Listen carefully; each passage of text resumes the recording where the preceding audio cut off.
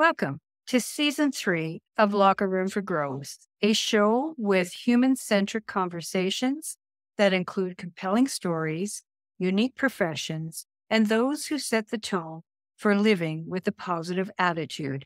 I'm your host, Debbie Elicksen. Please subscribe to the show and check out our past episodes and clips. Follow me on YouTube, TikTok, Instagram, threads, and more. Now let's meet our next guest. he's charismatic, he's interesting, creative, and inspiring, and he's from my maternal homeland. John Morris is a painter and mental health mentor who hails from Scotland. He hosts the Mind, Body, and Soul show for the Los Angeles Tribune and speaks about art, self discovery, growth, and yes, even wrestling. Morris's Inside the Cinematic Mind series is worth seeing on YouTube, where he dives deep into the personal psyche of a movie character. Please welcome John Morris. Thank you very much, Debbie. I really appreciate it. It's super cool to be here. It is my maternal homeland. I've never been there. And for others who have not been in Scotland, you describe Well, for me, I moved here. I must have been about 21. I actually moved here for different positions with work and everything. But I grew up in a place called Huddersfield, West Yorkshire, which is in the center of England. And when you first see it, especially on the West Coast, and it, it's beautiful summer and everything's warm and it's all happy. It's it's changed a lot now but it was really breathtaking to see clean beaches, beautiful waters, you know, everything. It is quite remarkable. The people, again, like anything, it can be an acquired taste for sure. You know, it, it just depends what circles you move in and what kind of things you do. Yeah, yeah. And for those of us on the outside looking in, you do see the scenes. You do see the the scenes in the pubs. yes. Yeah it, it's literally a world famous. You know, of course, you've got Turnberry Golf Course, you've got Troon Golf Course, you've got Scotland is famous for golf. It's famous for whiskey. It's famous for a lot of things. It, it's definitely an interesting place, depending on your personality, to, to live. What was? Tell me about your family. What were they like? So my father went through a number of different jobs and professions and eventually ended up in the civil service and worked there for I think it's close to like 21 years now. My mother uh, was how, how do I describe this? She did work little bits and pieces here. She was really, you know, a stay-at-home mom that stayed at home long after I left. It was, one of the things, both had their own issues that were going on, and life could be quite difficult being there. Certainly, as an only child, you didn't I certainly didn't mix all that well with other people for one reason and another. So again, when you make a big move like moving from Huddersfield to Scotland and you're trying this on your own for the first time, it took a long time, even still now, to really adapt into society. And now in the role that I'm in, where I basically just don't see anybody for, sometimes months on end, it works for me. I'm not a housebound, but I'm probably housebound by choice, just because my mm-hmm. work here is everything and whatnot. It was that big shift for sure. And it would be like some of us moving over to Newfoundland, where, yeah. yes, they speak English, but you can't understand a word they're saying. That's kind of like the East Coast. Not only do they speak what we call Broad Scottish, Broad Scots, but they speak it at a at a, at a decibel and a speed that yeah. is almost incomprehensible. And, and, and mixed with a slang that yeah. is like regional. yeah, and that's it. And, and again, there's there's a place called Bowness way on the east coast. And then if you go up into Peterhead as well, and it literally is, you know, I, I mean, you feel stupid because you're asking almost, can you say this slowly? Can you say this, you know, can, can you translate for me? And people will take serious offense because to them yeah. it's completely normal. But to me, it's like an immigrant that's just come over. It's like, what what is this? It, it's definitely a, a, a big culture shock it's mocked a little bit in the movies, but it is the truth. On TikTok, there is one guy in particular, Harbor Custom, I think is his tagline. and he's from Newfoundland and he gets people ask him questions and he answers in his very strong Newfoundland accent and you literally I don't even think the captions can pick it up. yeah, sometimes you can have that for sure. So what was your own self-esteem like when you were growing up? Very mixed. My dad worked away a lot, so didn't really get to see him a lot. My mom, you know, she tried her best, but it was eh, apparent to me later on, and you find this certainly studying psychology, that from the ages of about three to five, you are going to bring, you, basically, you are preparing yourself for the future there in terms of your education, in terms of your absorption, and everything else. So, with a mother who really struggled to read, really struggled education wise, academically, and, and in a lot of ways to function, I picked up a lot of really bad habits that, again, had knock on effects later on. I don't mean to, to speak ill of anybody, but, you know, from a psychological perspective, she could be a master manipulator as well. And a lot of people are when so again, you this is all you've ever known. And this is what I try to talk about a lot of the time when, when we're talking to different opposing groups and they just want to fight each other, whether it's, you know, various gender identity communities versus whoever. And it's reminding them that, look, to them and to you, this is your identity of normal. This is your idea of normal. So to me, you know, it, it was everything's nice, everything's lovely, la, la, la, la, la you get out into the real world and you recognize that things really aren't. My wife and I, that's been something that I've really had to work through over the years on how people could be such a way and they could behave in such a way that wasn't positive, even in professional environments. I think a lot of that was to do with your upbringing. You find that if you've got yeah. brothers and sisters, and I have heard this a lot, that you kind of get used to having a thicker skin. You kind of get used to, you know, the the ruffle and tussle and everything else. Whereas when you just go to school and then you come home, you don't have friends over, you don't see people, you don't really hang out. It socially can be really disastrous. Mm-hmm. And it did. I mean, it took me a while to really get past a lot of that. And I think that's that's because it was like a big paradox because on the one hand, you don't enjoy your own company. Certainly when I first moved to Scotland and you buy yourself and everything, but on the other hand, you really struggle being around other people.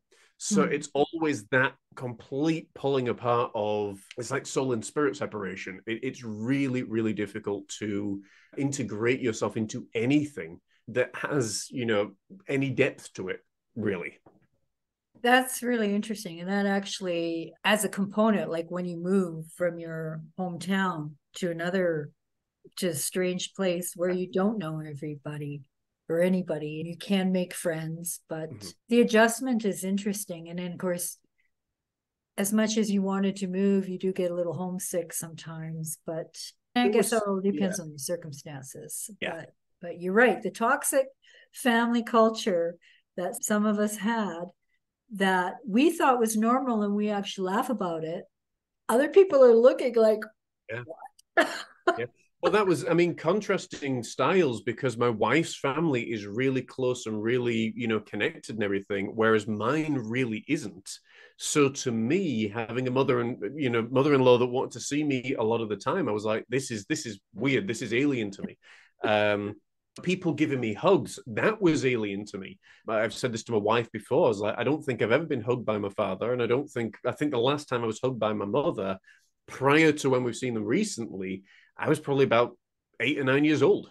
So there's there's, there's that whole thing that's going on. But again everything I, I firmly believe everything's divine. It had to happen in a certain way for me to do what i'm doing now and to be able to understand it so, what got you into psychology and philosophy? What was it about those two subjects that drew you? So I had gone through quite a an experience. I was a youth minister for about 15 years. I'd gone through quite a lot of experiences after I, I, I left there, and there was a lot of political stuff that went on. And basically was very bitter about it, was really steaming out of control, just in my own stuff, and was not again, going back to what we said, I did not know how to deal with anger and bitterness and that disappointment very well. And so, literally, I was basically drinking myself stupid. You know, there, there was a lot of stuff going on. And then it was 2021 of January 2021 that for no reason at all, I'm sitting in the downstairs office. I put on YouTube on my phone and Wayne Dyer's Everyday Wisdom just mm-hmm. came on. And within two hours, all of the bitterness, all the anger, all the stuff that was there was gone. From there, I listened to his Everyday Wisdom every single day. And that's really where it stemmed from because he mentioned that he was doing psychology, he was a doctorate in psychology, and I thought, well, I really enjoy doing this. I really enjoy all these different areas, and I was getting my life together. And that was a super cool thing about it was I logged onto YouTube. I think I Googled places to do a psychology degree and the University of Yale came up and they had it was just as I think we were actually in lockdown or going into lockdown at that point. I think it was Paul Bloom who was the, the lecturer at university at Yale in the United States. And he had delivered a full first year worth of teaching on YouTube. So I sat and I watched the entire thing. And I'm taking copious amounts of notes and everything. This is brilliant. Let's see what else is out there. So then I found the first year university degree with MIT, which, if you know your American universities and schools and things, you know, oh, is yes. one of the most prestigious. So there's two of the most prestigious uh, universities actually in, in the world right there. And it was John, I forget his surname, but anyway, he basically, you know, he's a very charismatic guy, but it was a whistle stop tour through the brain and, you know, doing all this something in immense detail from there, I started studying with Stanford, and then I went back to Yale and I studied psychology there. And again, all this stuff's online, and I'm thinking, great, you've got nearly 100 hours worth of, of study and, and research and everything that's gone on in a year. Plus, you've listened to 763 books within a year. So now you need something on paper that says you can do this here in the UK. So the Open University, because it needed to fit in with my time, with my schedule, and everything right. else. Isn't and I didn't great? want yeah, well, I mean, I didn't want to travel or anything, so I was like, this is ideal, and that's what I did. So now I'm going into my third year of doing this, mm. and you know, literally just develop. And again, it's basically just for that stamp on your book and for that thing, but ultimately, it's the education and what you do with it to to help many others. So that's really what got me interested in psychology. It was like, I'm very good at reading people. I'm very good at, you know, seeing the things that people don't want me to see, basically. And that has helped in all of these things because people nowadays, I, I think, unfortunately, too many people and too many therapists, coaches, etc., etc., they keep their clients in therapy for far too long. Like if you've been in therapy for 10 years, there's something wrong with your therapist. The whole thing is, I think it's a bigger thing with the therapist because it's also, yeah. it's like the donkey and the stick, or uh, uh, the donkey and the carrot. It's literally like, okay, if you're paying, you know, 50, 60 pounds an hour, I'll dangle a carrot in front of you and, and keep you walking. Whereas with me, usually within 20 minutes, I'm able to see specifically what the issue is, get to the root of the problem. And then with the extra 40 minutes, we talk about it and, and basically, you know, get you from where you are to where you want to be. Because I think any more than that, there's something not quite right. So that's in a nutshell, I suppose, really where I found myself going. Yeah, yeah. And thanks for mentioning the the online um, options because yeah. Oh my god, like it is ridiculous how expensive universities are. Now, when I was graduating high school, there was no option to go to college or university because yeah. there was just no money. And that yeah. is back in the 70s. But today, you would literally have to be rich to go to college or get a think, scholarship or be a good football player. I but, think if you want to learn how, or if you want to know how to make money, study it online, study it on YouTube. Yeah. There's enough stuff out there.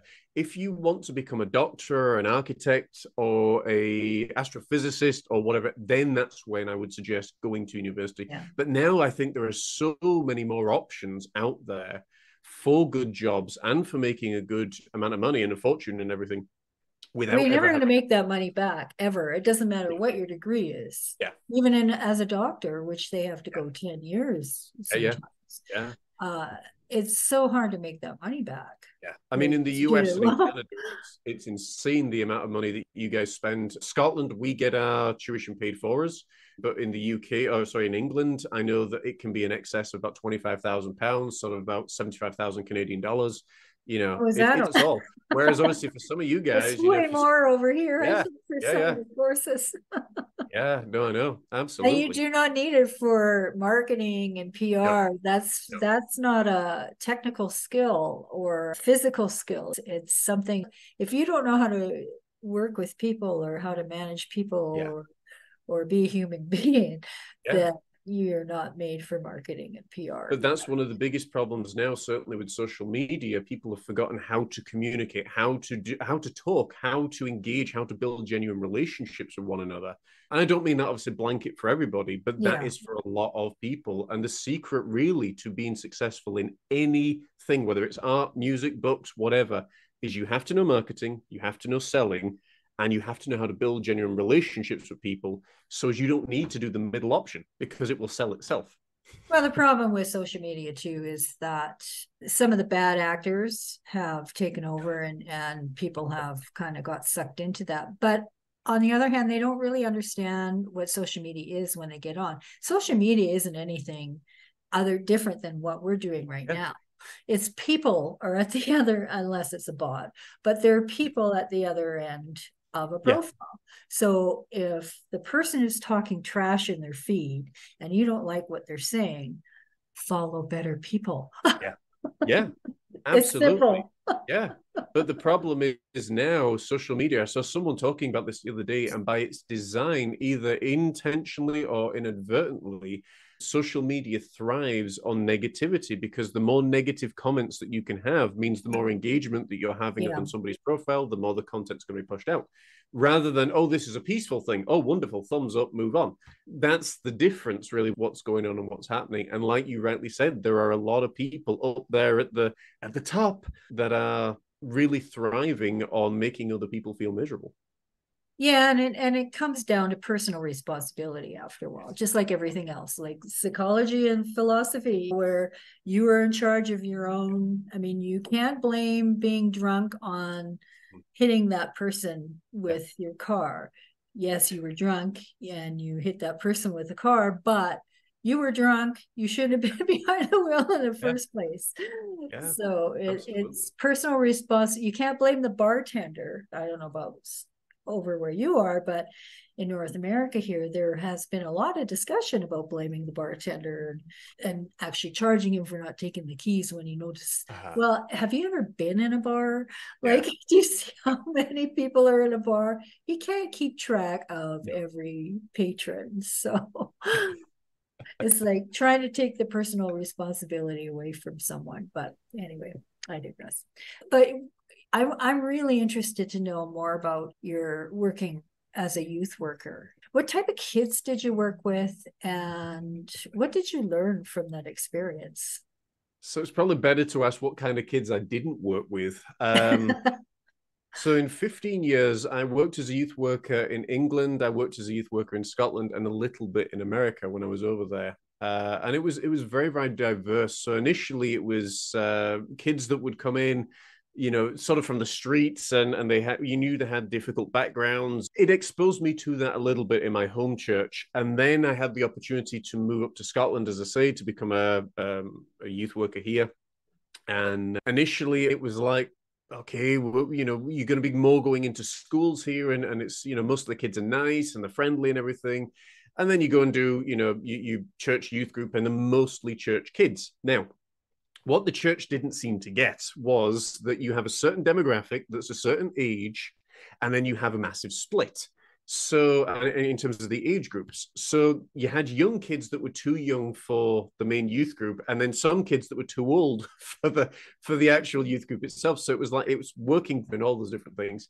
And then when the kids eventually moved off, sort of three years before I left, it, it was street kids, basically kids that were coming off the streets from broken homes again, which that's more my background in, in working with these boys and girls. But they came this time with it's around the time that the gender identity push was coming out. The LGBTQI community was becoming more of a, a, big central thing. And I really felt a major shift just in the personalities as well of what was going on. I learned a lot from them. I learned a lot of not only acceptance, but how accepting they can be. Because what I found was people of, of my own age group, and my wife's found this as well, which is really interesting, that certainly within the church they want to be it's all about the ego. It's for a lot of them it's why don't you become this? Why don't you become that? Well i do this and i do that. And you shouldn't need to fight to find a place really within an organization. And equally, when you are going somewhere to heal, you shouldn't feel forced into, we're, going to push you off the cliff, basically, in, in doing this. We eventually left. I built my own art school as an entrepreneur, I suppose, and I taught children, I taught adults. Again, it was basically waifs and strays from everywhere is the best way to describe it and there were some really great kids I, I had so many really good experiences and memories i think more than anything, it was how accepting of me they were. It's that whole thing of, you know, you find friends. And it's a very bizarre thing when you've got friends that are essentially, and I still keep in touch with some of them now, but friends that are 14 years younger than you. Even this past week, there was one that reached out and and we reconnected, which was super, super cool to have that. So with younger folks and with older folks, I tend to be very easy to build relationships and friends with it's more i think our own age group. I, and i don't know what it is you know so i, just, I was just like ah okay I'm, I'm i just don't have the energy that i'm going to assign to this really. Uh, but a lot of really great experiences with them. I get that. The how much of it do you think is about being seen and heard because those kids come from broken homes and tough situations and even the older people you mentioned western culture seems to discard and native culture and other cultures asian culture they revere their their elders and they thrive in their wisdom but yes. in western culture we just here go to home and, and, I don't get and that. in the and yeah. then the kids if they don't behave at home and God forbid if they're LGBTQ two spirit, they kick them out of the home. So to answer that, I really found that when kids, as you, as you, rightly said, kids that are coming from broken homes, the one thing I think that they want more than anything is a stability. I think B, someone who's actually going to listen to them and genuinely wants to listen. That's the secret to a lot of things is if you can genuinely listen to someone and they can feel that they're being listened to regardless of what it is without political agenda being pushed on them. It, it's amazing. Like you rightly said with in terms of the older folks that are in 60s 70s 80s i think they loved me and i loved them because again i would learn so much and so many different stories from them and there's so much wisdom there they are the wisdom of society and i think they should be listened to and really absorb what they've got. It's taken some of these guys and girls 90 years to learn what they've learned. You know the stuff that they could save us from the stuff that they could protect us from if people are willing to listen is incredible. Plus you miss out on so much if you're not willing to but one thing that they loved always talking with me was they could talk about Alan Watts, they could talk about Florence Scovel they could talk about stuff from the past because I had such a varied interest. And I found that I was like, oh my goodness, I found my tribes. Because you can talk to the kids about this and make it cool. You can talk to the adults about this and be like, wow, you know, it's that middle ground where they're so busy trying to get their own ideas and their own ego in there and their own stamp on the world. And it's like, if you were to look back from from the world as God sees it, you'd be like, you're not that significant. Let me tell you this: you are not that significant. I don't care who you are uh, and how significant you think you are. You're not. Just try and live 150 years, and, and I'll prove my point. It's not that significant. Anything that you do. So when you realize that and you can have fun with the kids, you can be the wise person that's there that's able to speak all of these different things based on your understanding. And you can also be the, the person that's going to play dodgeball with them or football with them or take them on adventures. That's a really cool kind of person to, to have around. And that's really for me where I last felt that big acceptance, certainly from the teenagers and stuff that I work with. And that was so cool. There is part of me that misses that equally not enough that I would go back into that line of yeah. work because it's just become far too political now. Not to say that what you're doing now can't be emotionally good. I'm, safer being at home though. Can be, especially with the traumas and and the issues that they have going today. It's it's yes. even compounded more than it was 20 years yeah. ago. Um, but working with people and helping them through tough emotions, you know, it's what you do and, and it has to put a strain on you sometimes so is painting your release So painting really is again. It, it was another way for me to, I suppose, find a really good living. is, is, is, the honest truth.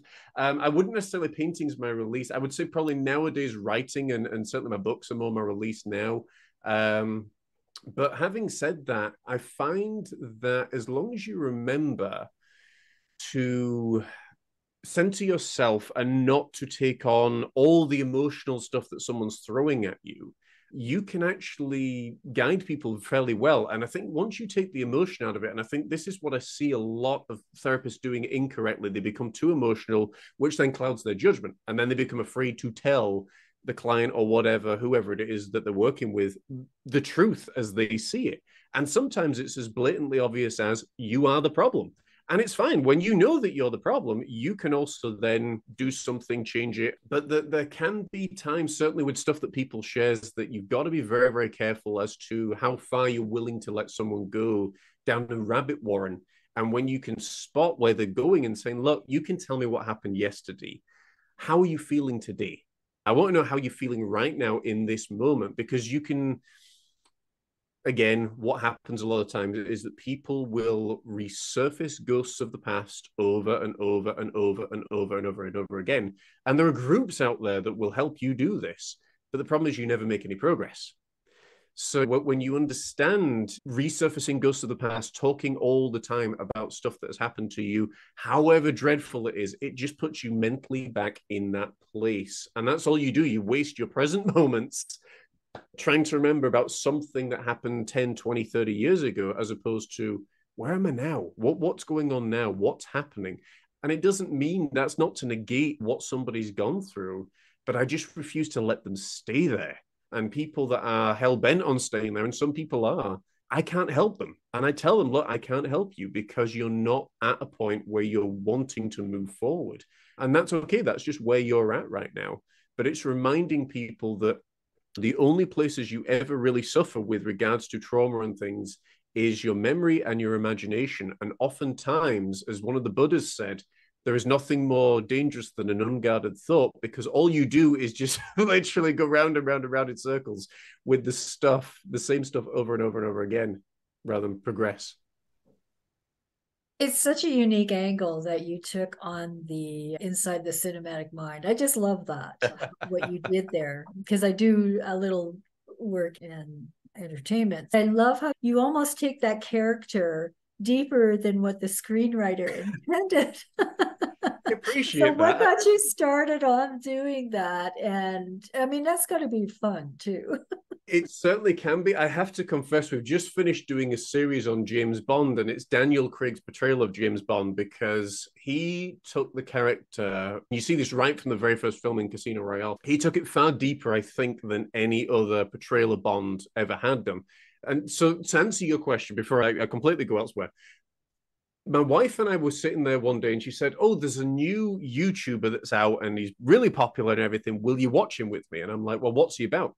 And he analyzes, he's a meteorologist, and he analyzes storms and disasters in films and how realistically it could be and how realistic they are and, and everything else. That, And it's quite entertaining.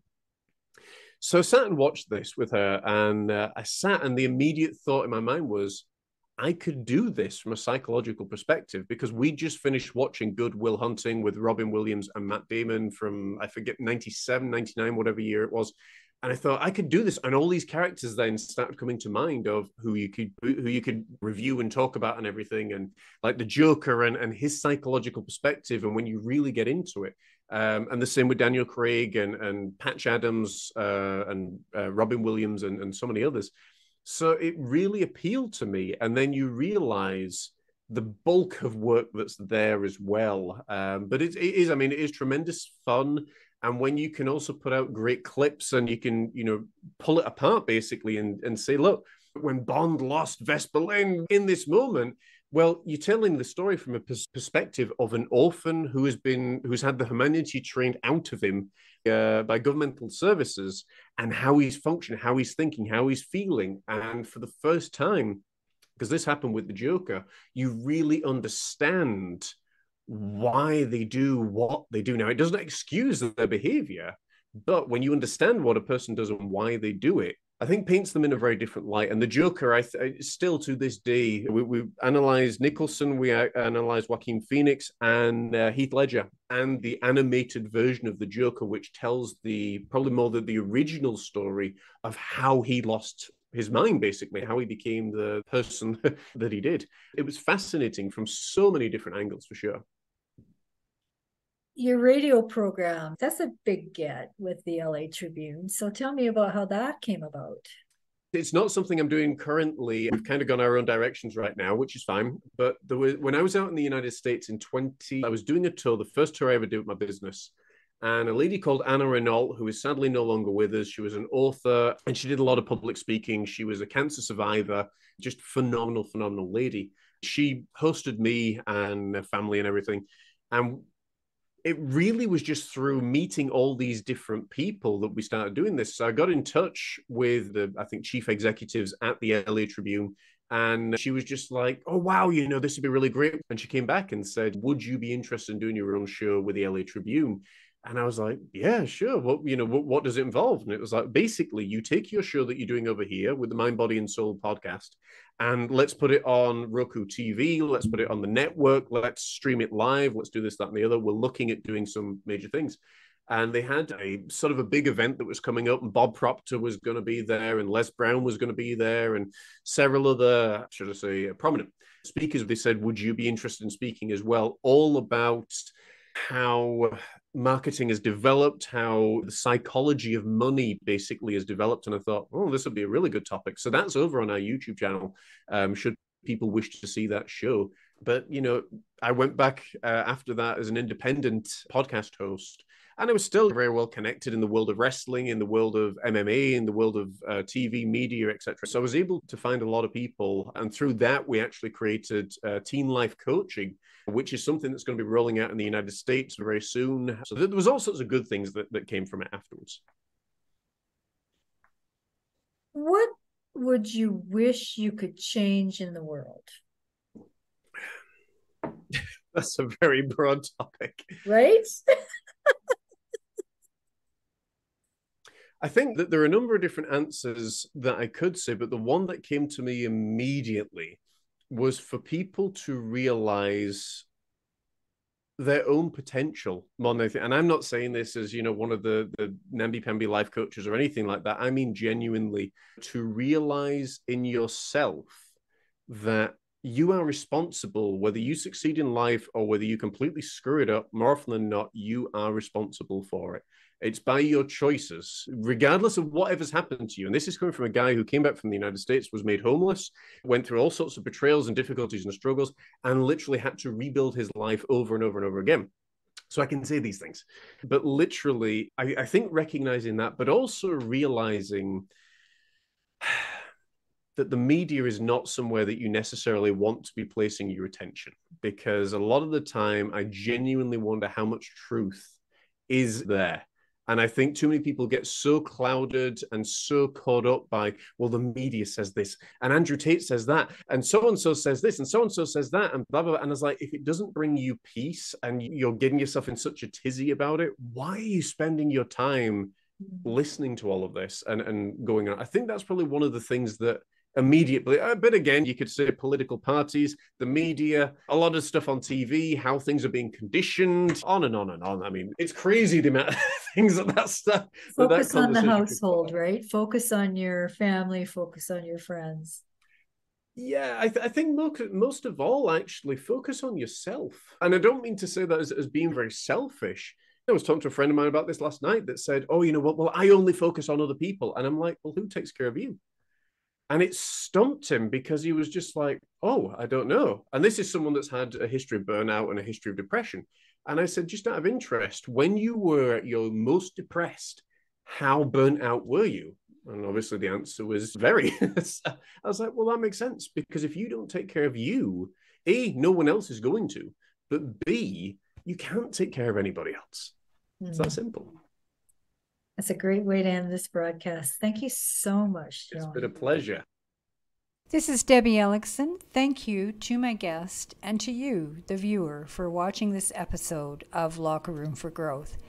Please subscribe to this channel and check out our past shows and clips in the YouTube playlist. The show broadcasts from Treaty 7 on Turtle Island, the traditional territory of the Blackfoot people, which includes Siksika, Blood, Piikani, Tsuut'ina, Stoney Nakoda Nations, and Metis Nation Region 3. Again, thank you for watching and please subscribe.